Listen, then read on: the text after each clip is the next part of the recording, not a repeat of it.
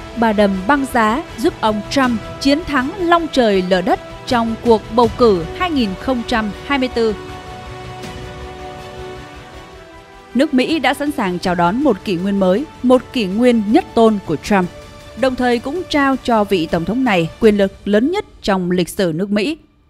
Được trợ giúp bởi một trong những chính trị gia đáng sợ nhất Hoa Kỳ, đội ngũ của ông Trump năm nay đã được tiếp thêm sức mạnh như thế nào?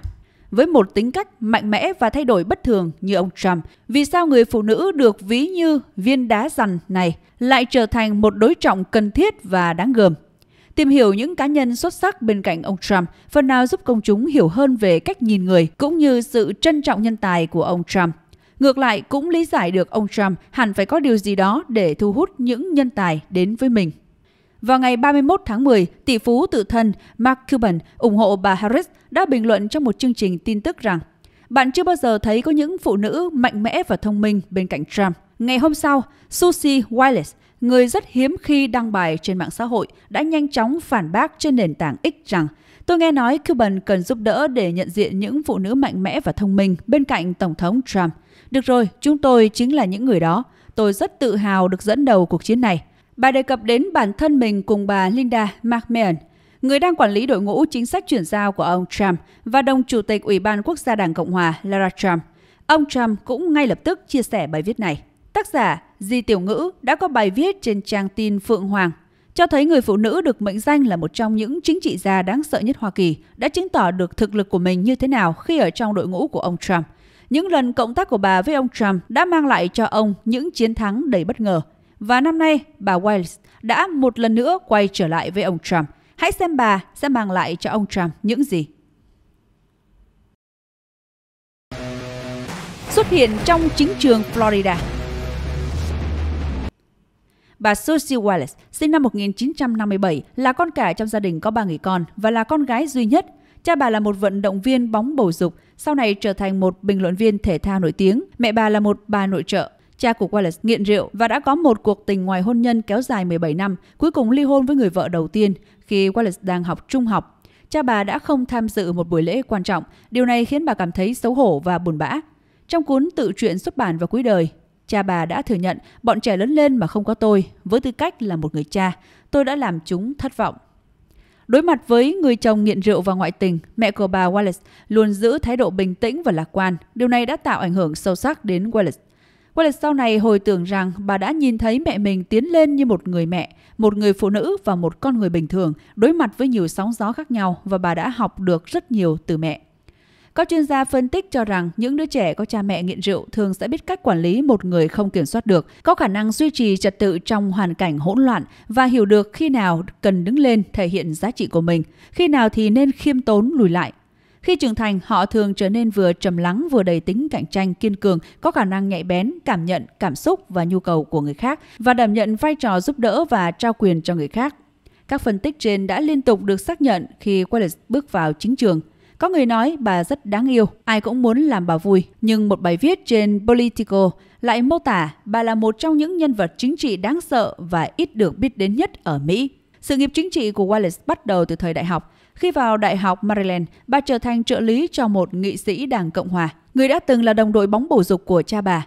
Năm 1980, bà tham gia vào đội ngũ vận động tranh cử của Tổng thống Reagan, phụ trách sắp xếp lịch trình vận động.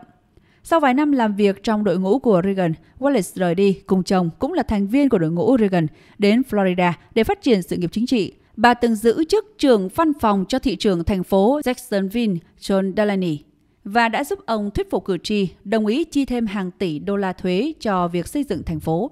Điều này đã khiến Delaney rất ấn tượng với bà. Ông nói, tôi hiếm khi thấy ai có trực giác nhạy bén về chính trị và chính sách như cô ấy. Cô ấy biết cách truyền thông để khiến công chúng cảm thấy đồng cảm. Wallace đã làm việc tại chính quyền thành phố Jacksonville trong 20 năm, lần lượt giữ chức trưởng văn phòng cho hai thị trưởng. Năm 2010, bà được mời tham gia đội ngũ của Rick Scott. Ông là một chính trị gia mới vào nghề, không giỏi phát biểu công khai, nhưng lúc đó đang cạnh tranh với ứng cử viên hàng đầu, Tổng trưởng lý Florida Bill McCollum, để giành ghế thống đốc bang. Wallace đã giúp Scott đánh bại đối thủ với một chiến thắng mong manh và trở thành thống đốc. Trong cuộc bầu cử Tổng thống Mỹ năm 2012, Wallace cũng tham gia vào chiến dịch của ứng cử viên Đảng Cộng hòa Mitt Romney tại Florida. Kết nối với Trump Trong cuộc bầu cử Tổng thống Mỹ năm 2016, những người gây quỹ cho ông Trump tại Florida đã giới thiệu bà Wallace cho ông. Ban đầu, ông Trump không hài lòng với bà Wallace, người có mái tóc bạc và cách cư xử thanh lịch. Ông muốn một trợ lý có sức hút hơn. Tuy nhiên, sau khi không hài lòng với các trợ lý gốc Florida, cộng thêm sức ép từ những người gây quỹ, ông Trump đã đồng ý cho bà Wallace gia nhập đội ngũ vận động của mình. Sau khi gia nhập đội ngũ của ông Trump, bà Wallace dần được thăng chức lên vị trí phó giám đốc chiến dịch. Tuy nhiên, sau đó chiến dịch của ông Trump tại Florida gặp khó khăn. Ông nghĩ rằng mình sẽ thua ở tiểu bang này và đã nổi giận với bà Wallace ở nơi công cộng, yêu cầu bà rời khỏi đội ngũ. Wallace sau này thừa nhận rằng chưa bao giờ ai nói chuyện với bà bằng thái độ như vậy. Và thời điểm đó, bà đã nghĩ đến việc từ chức, nhưng sau khi bình tĩnh lại, bà quyết định kiên nhẫn và tiếp tục. Cuối cùng, ông Trump đã thắng lớn tại Florida và từ đó Wallace có được danh hiệu người hòa giải thiên tài và chuyên gia Florida. Chiến thắng này cũng làm thay đổi cách nhìn của ông Trump về bà Wallace. Năm 2018, khi ông Ron DeSantis gặp khó khăn trong cuộc đua tranh cử thống đốc Florida, ông Trump đã sắp xếp để bà Wallace giúp đỡ. Bà đã không phụ lòng mong đợi và lại chứng minh giá trị của mình với một chiến thắng đầy kịch tính. Hòn đá dằn của ông Trump trong thế giới đầy biến động trong cuộc bầu cử năm 2020, tình hình của ông Trump ở Florida không khả quan. Ông đã hỏi một số cố vấn thân cận nhất rằng ai sẽ là người giúp ông lật ngược tình thế, tái hiện cảnh thắng lợi ở Florida năm 2016. Chỉ có một cái tên liên tục xuất hiện, Susie Wallace. Và vào đầu tháng 7 năm 2020, bà Wallace đã trở lại với đội ngũ của ông Trump. Thực tế đã chứng minh sự lựa chọn của Trump là đúng. Ông đã thua tất cả các tiểu bang chiến trường khác trong cuộc bầu cử đó, nhưng lại giành chiến thắng với lợi thế lớn tại Florida. Một thành viên Đảng Cộng Hòa đã nhận xét trong một thế giới đầy biến động và bất ổn của Trump và với những chiến thuật bất ngờ và đầy thay đổi thì Susie chính là viên đá dằn. Ngay cả một thành viên Đảng Dân Chủ cũng nói rằng nếu mình ra tranh cử tổng thống, họ muốn có Wallace hỗ trợ. Sau khi thua cuộc bầu cử năm 2020, những người ủng hộ ông Trump đã xông vào điện Capitol, tuyên bố rằng cuộc bầu cử đã bị đánh cắp, nhưng bà Wallace vẫn giữ được sự bình tĩnh. Bà không nghĩ rằng cuộc bầu cử đã bị đánh cắp, mà chỉ ra rằng trong chiến dịch, Đảng Cộng Hòa đã không làm tốt công tác giám sát ở các tiểu bang, trong khi Đảng Dân Chủ đã khéo léo lợi dụng đại dịch COVID-19 để thu lợi cho mình bà Wallace đã thực hiện một loạt công việc xử lý hậu quả cho ông Trump. Và cuối cùng, ông đã được tuyên trắng án sau phiên tòa luận tội. Truyền thông Mỹ cho rằng Wallace là một trong những lý do quan trọng giúp Trump có thể hồi sinh. Vào đầu tháng 3 năm nay, ông Trump lại mời bà Wallace hỗ trợ trong cuộc tranh cử của mình. Ông đã gọi điện cho bà thừa nhận sự bối rối của mình. Thật là một mớ hỗn độn, tôi không biết ai sẽ chịu trách nhiệm, tôi cần bà giải quyết vấn đề này.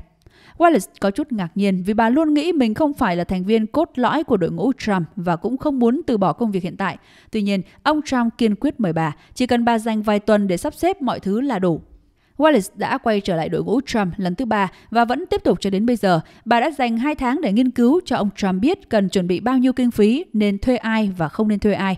Sau khi nghe báo cáo, ông Trump đã đồng ý với tất cả các đề xuất. Trong công việc này, bà Wallace không nhận được một xu nào. Trong hai lần trước đó giúp Trump tranh cử, bà cũng không yêu cầu thù lao. Trump và gia đình ông cảm thấy ngạc nhiên vì họ biết nhiều người gia nhập đội ngũ của Trump thực ra là vì muốn chia sẻ lợi nhuận. Hiện tại, bà Wallace đã được công nhận là tránh văn phòng của ông Trump. Trước bà, có bốn người đã giữ chức vụ này, trong đó một người bị ông Trump sa thải, hai người đã trở thành đối thủ của ông và một người có thể bị xử lý pháp lý do sự kiện bạo loạn tại Quốc hội. Bà Wallace là người giữ chức vụ trưởng văn phòng lâu nhất trong số những người này. Cuộc đấu quyết định năm 2024, bà đã mang lại chiến lược gì cho ông Trump? Sau khi ông Biden rút lui, cuộc bầu cử Mỹ năm nay đã bước vào cuộc đối đầu quyết định giữa Trump và Harris. Bà Wallace đã khuyên ông Trump chỉ trích bà Harris là yếu đuối, thất bại và là một nhà tự do nguy hiểm. Ông Trump đã làm theo. Trong một bài phát biểu vào ngày 31 tháng 7, ông đã gọi bà Harris là con rối bị kiểm soát bởi các nhà tài trợ giàu có của Đảng Dân Chủ và lãnh đạo đảng, đồng thời cáo buộc bà có thái độ yếu kém đối với tội phạm dẫn đến sự sụp đổ của San Francisco.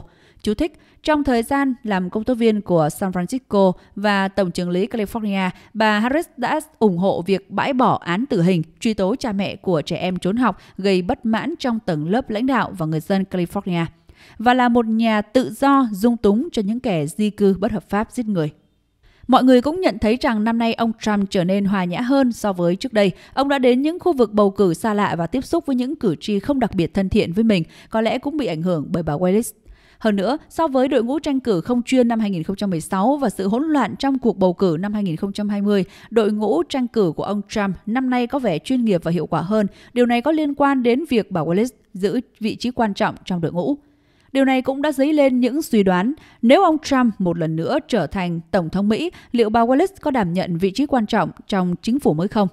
Theo thông tin từ những người trong cuộc, bà Susie Wallace đang liên hệ với trưởng văn phòng Tòa Bạch Ốc và giám đốc cơ quan mật vụ để tìm kiếm các tài sản quân sự và biện pháp an ninh khác, bao gồm cả máy bay quân sự có khả năng đánh chặn tên lửa nhằm bảo đảm an toàn cho Trump khi ông tham dự các buổi vận động tranh cử, theo New York Times. Trang mạng Politico cho biết nếu ông Trump lên nắm quyền, bà sẽ là một trong những ứng cử viên hàng đầu cho vị trí tránh văn phòng Tòa Bạch Ốc. Vào tháng 8 năm 2022, khi ông Trump đang chuẩn bị cho cuộc bầu cử lần này, một người gần gũi với ông đã được hỏi liệu bà Wallace có phụ trách công việc tranh cử của ông Trump không. Người này cho biết có khả năng, nhưng cũng không ngạc nhiên nếu Wallace bị sa thải ngay ngày mai vì đó chính là thế giới của Trump. Về điều này, bà Wallace giữ thái độ bình thản như thường lệ. Với hơn 40 năm hoạt động chính trị, bà đã phục vụ cho ít nhất 3 ứng cử viên tổng thống và chỉ riêng trong đội ngũ của ông Trump, bà đã gia nhập và rời đi 3 lần. Khi làm việc cho ông Trump, bà hiểu rằng mình không thể kiểm soát một người có tính cách mạnh mẽ và đầy biến động như vậy, bà chỉ có thể làm trợ lý của ông. Bà Wallace nói, tôi nghĩ mình là một người bình tĩnh, việc hiểu rõ tình huống là rất quan trọng. Đó là điều tôi đã học được trong nhiều năm qua.